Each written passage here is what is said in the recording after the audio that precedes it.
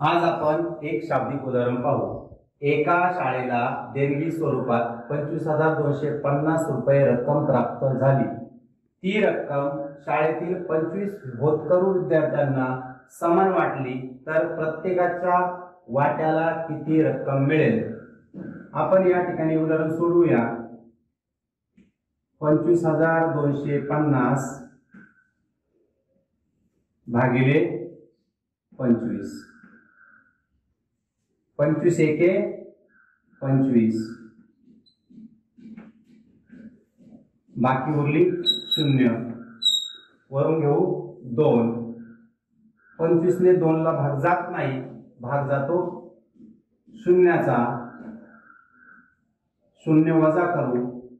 या ठिकाणी दोनातून शून्य गेले बाकी उरेल दोन.